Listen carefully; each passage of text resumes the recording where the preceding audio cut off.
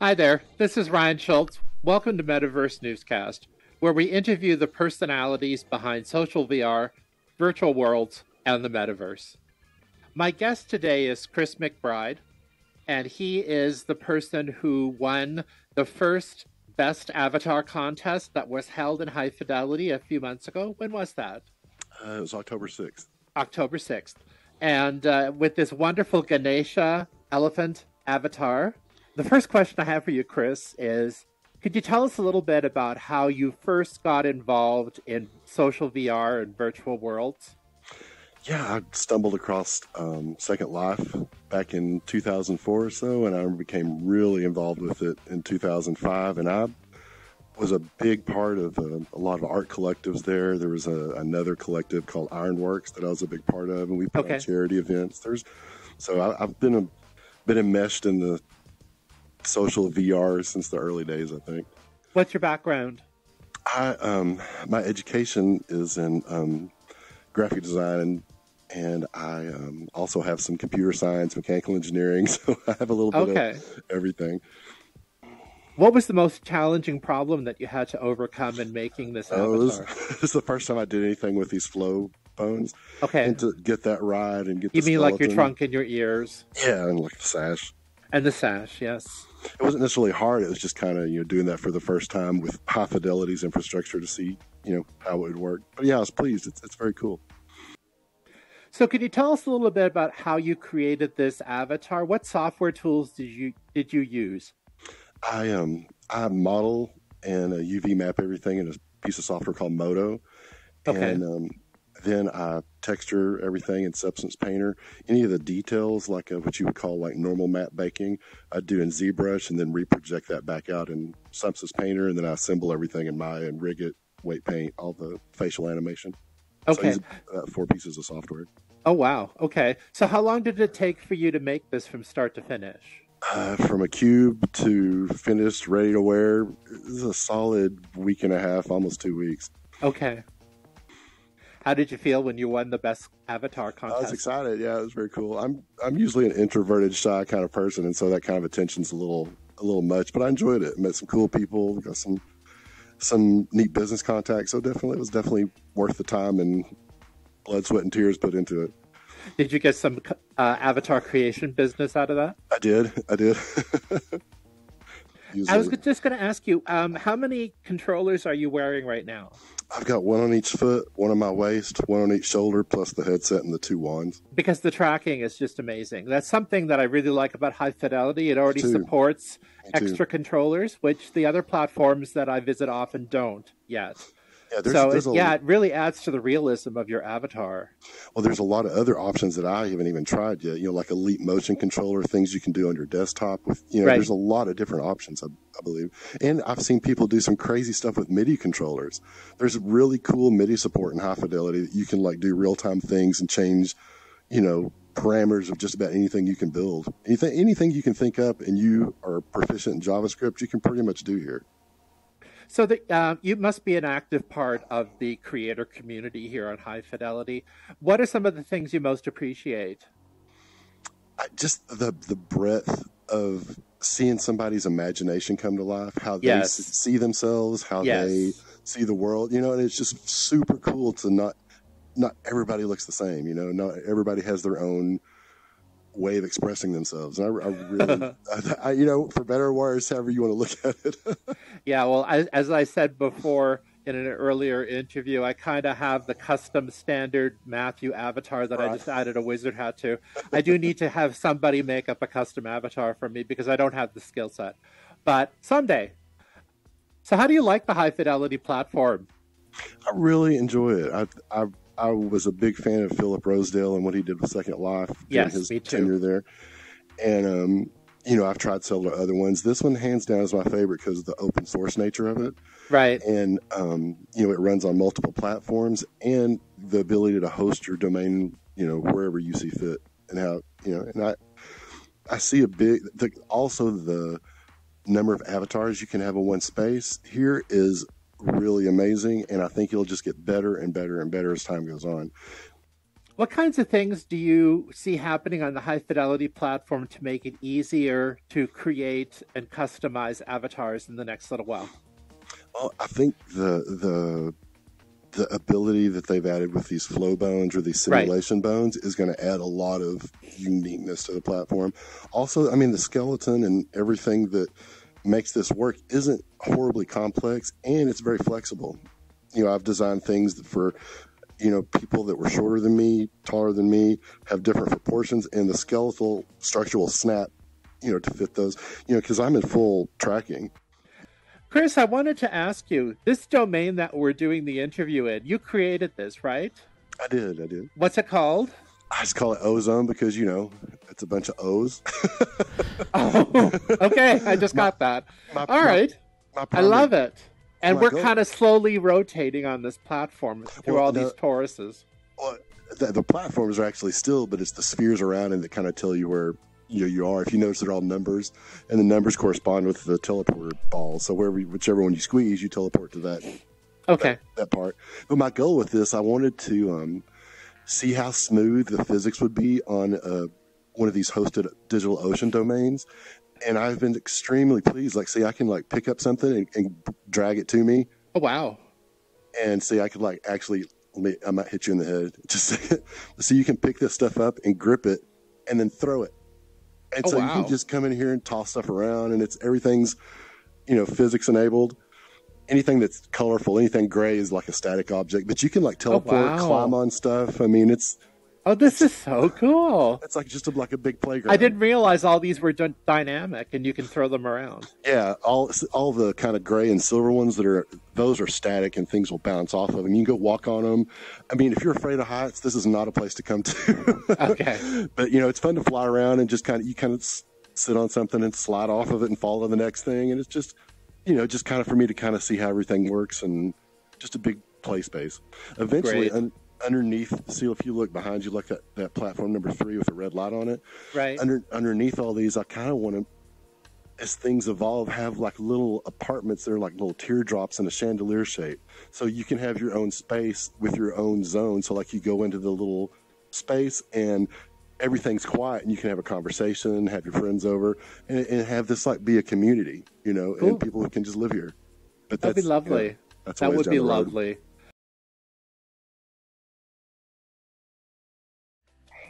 I like the way the red wave moves when you talk. Yeah, it's way too many polygons. Way too many polygons. It should be way lighter than that. But yeah, this is one of my first things I ever built here. I mean, I've built meshes and stuff for Second Life, but the flexibility of what you can do here is just night and day. Okay, pose and turn.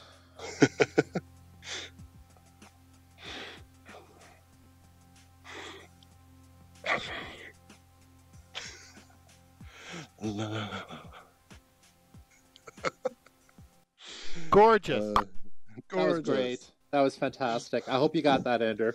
You try another one? Okay, let's go try another one. All right. This one's my normal self. A blue alien is your normal self. I, I know. It. I even had one that looked very similar to this in Second Life towards the end. What does the symbol on your on your uh, tank top mean? It's a om. It's kind of like the the Hindu Sanskrit symbol for like okay. the beginning okay. sound of the universe, basically. Okay. If, if you can tell, I kind of have some Eastern Hindu uh, influence. philosophical leanings. Yeah. I'd really like to, um, when I have times, kind of make some other like uh, historical deities and if I could hook up with somebody who knew how to script and like make some of the gods that have multiple arms and things like that. So when oh, I that move, would be so cool. I know that that's beyond my abilities with the scripting part of it. But man, I would love to learn how to do that. Okay, make love to the camera. cool. Now this is my default personality. This is kind of what I'm most comfortable in, the one I, you know, kind of wear for my day to day VR self.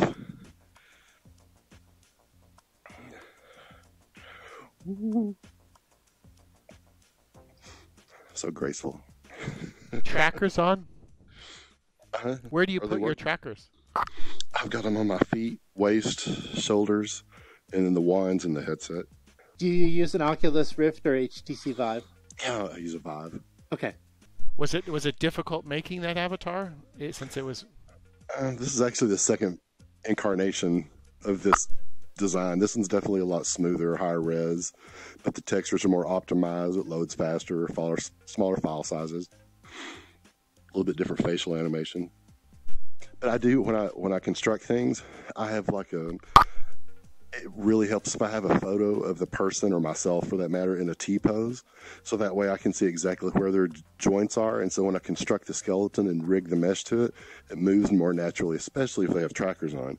If Okay. you wear if you wear trackers, it's super important to get the arm length correct, like from the shoulder to the tip of the fingers, so that way that your shoulders and your arms move correctly and don't fold up, you know, kind of like a chicken. Yeah, okay.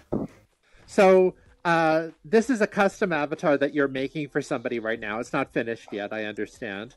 What's the process if somebody wants to contact you to get a custom avatar made? They can um, contact me at chris at ultranique.com.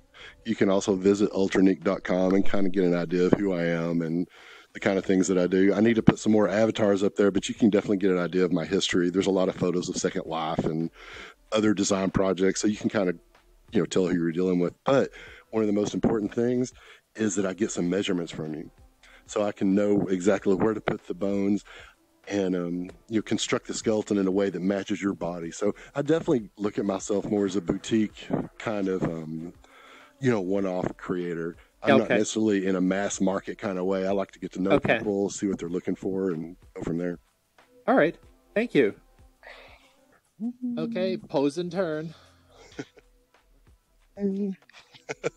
My balance is not that good. That's fine. Do another slow turn, Chris.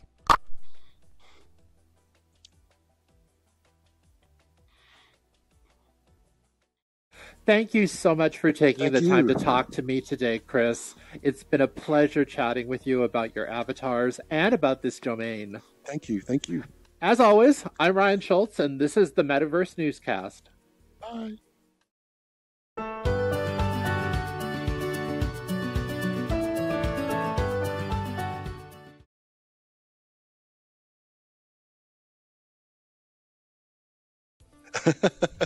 I celebrated with um, the prize money and bought one of the wireless adapters for my Vive, so I don't have any cables anymore. So that way you can like wee. you don't have to worry about tripping over anything. So that, that was that was kind of my goal. It's like if I win, I'm gonna go wireless. So yeah, that was it was it was a good thing. But yeah, it was it was nice to be acknowledged for that. You know, and I. Like all of us, I mean, I think I learn new stuff every time I make something new. So, you know, what I learned from that one, I'll take to the next one and the next one, you know. So, it's just it's just something I truly enjoy. I mean, it's something I really am passionate about doing. Don't be afraid to experiment.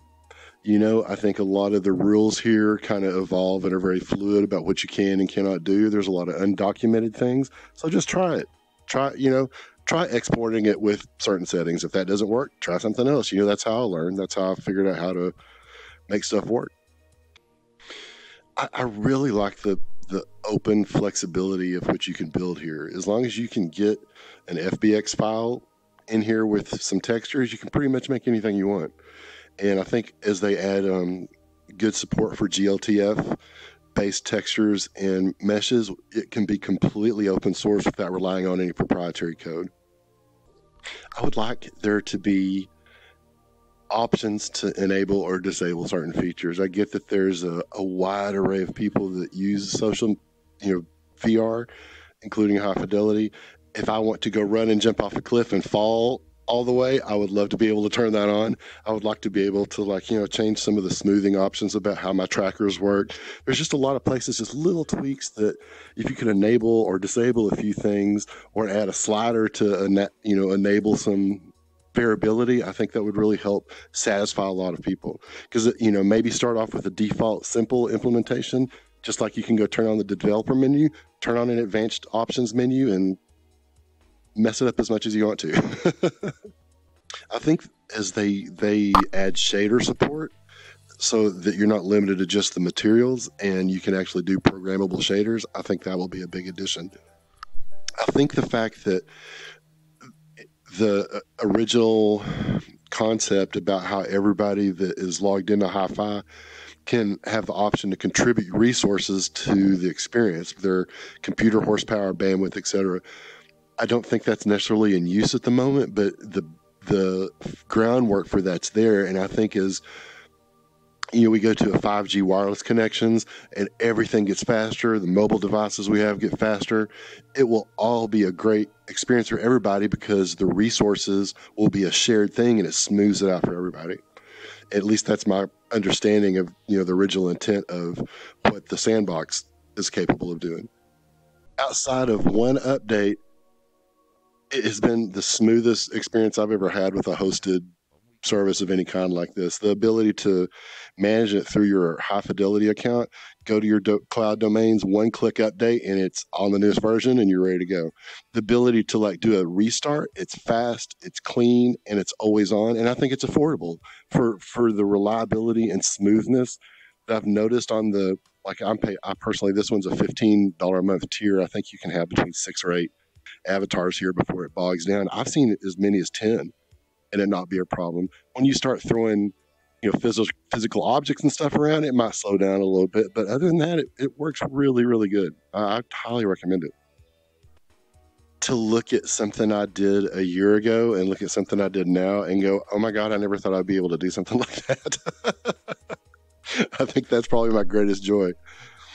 To, like to see your own personal evolution and see, you know, creating your own way of doing things the way that you want this to work and the way you enjoy making things. As long as it fits the constraints and doesn't slow everybody else down you know and you're responsible with your polygon count and texture you know textures that you choose you know do whatever you want you know and i really i like that flexibility to experiment and just play. I would tell the vr chat people that you can have more than 30 to 35 people in world at the same time. The sense of community and having a crowd of people is really something that that's amazing to experience. Um, the people in Sansar, I would tell you have the freedom to do whatever you want. You have a blockchain based market system. You have the ability to recompile the software however you want to use it. And you're not locked into dealing with just one entity, which I really appreciate. It's the difference between basically a chat room with shoes, which Judas here has stated very eloquently, and actually being in front of somebody. The the sense of presence when you are able to walk up and actually look somebody in the eye, and, and the more trackers they have on, the more motion, the more you can read somebody's body language. It's a much more immersive, personal, bi-directional experience in Second Life. A lot of times I felt like Second Life is I'm looking through a window into something. This is you're on the other side of the window inside it.